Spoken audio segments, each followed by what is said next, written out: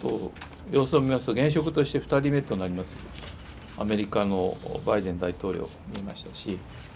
え核保有国であるイギリスとフランスこの現首脳も初めて訪問いただくということになりまして、ね、ある意味で歴史的に非常に意義深い一日になったんじゃないかなと受け止めてます。このあの建物に入っていただいたということでご覧いただいたというふうには思いますしそして被爆者の証言、ね、当事者の方おられたのでですねそういった我々のお願いがですね一部というか、えー、叶ったというふうな受け止めはしております。